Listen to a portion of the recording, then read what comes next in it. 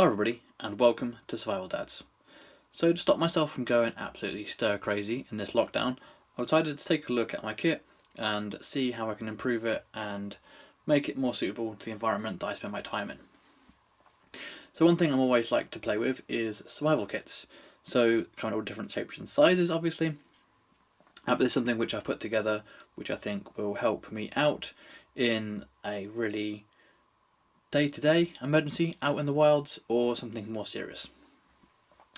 So it could be that my bootlaces have broken um, or I, I don't know, uh, forget my uh, lighter so I can't get a brew going or it could be that I've discovered a hiker, a fellow hiker that's fallen ill on the trail perhaps have hurt themselves. So it gives me something to do to keep them warm, keep sheltered, and you know, obviously the more mundane things as well. Without further ado, I'll tell you um, what I've got going on in this kit. So first up is going to be a Swiss Army knife. So depending what I'm doing, um, it'll either be a lock-in version like this, or it'll be a non-lock-in version. Basically depends where I am. But included with it, I will have a tortoise gear uh, fire ant, which is a little mini ferro rod, which is really cool. There'll be a video on that coming soon. And tinder, but obviously always have a cutting tool. Obviously this has a variety of uses on it and a way of starting a fire. Next up is going to be a Blizzard Compact Trauma Blanket. So this is a really cool um, reflective blanket which can be used to keep someone warm in an emergency, obviously warm and dry. And this thing takes literally no room um, and it's really light as well. So this is always having a place in my outdoor kit, so it fits in my backpack with no problem at all. Be a crime not to include that. Moving on, I have this uh, roll storage pouch, which is a waxed canvas material, so it's totally weatherproof, perfect for the UK conditions. And in it, I've got a few extra items. So let's take a look.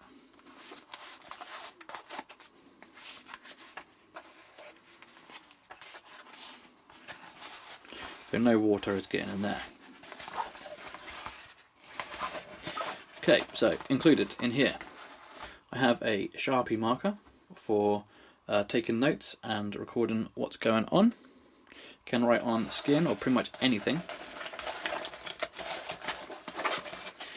I have this, which is a really compact kit from uh, Law Industries. So this has a uh, alcohol swab, a fire starting tinder, a reflective patch there, little mini ferro rod, and a striker. So you're able to start a fire and there's some cool bits with that. So quite neat and it's totally waterproof as well.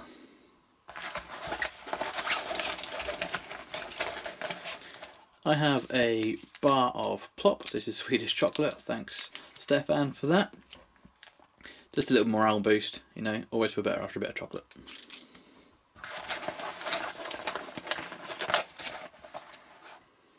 I have a survival whistle and some illumination. Always good to have. Attracting attention and seeing what I'm doing.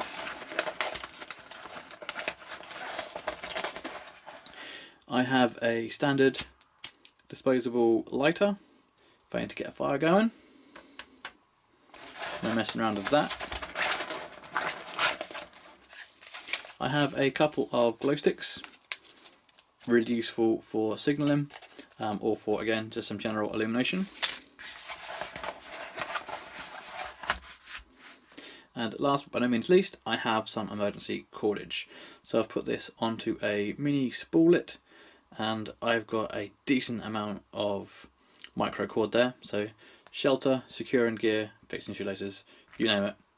I got something to get it sorted. And that's it. So that is a really bare bones kit, but the idea of it is, if it's too bulky, I'm probably not going to take it. So having this kit fits really nicely in here. I've always got it on me when I go out into the outdoors, be it just a quick photography walk or filming videos or going for a longer hike. Any extras you think I should add to this, please let me know in the comments below. Again, like I say, this is a bare bones kit, and this is something to supplement what I would normally carry. So thanks for watching, stay safe, and I'll see you soon.